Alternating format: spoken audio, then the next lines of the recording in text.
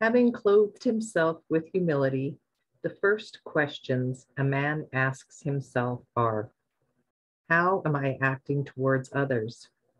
What am I doing to others? How am I thinking of others? Are my thoughts of and acts towards others prompted by unselfish love?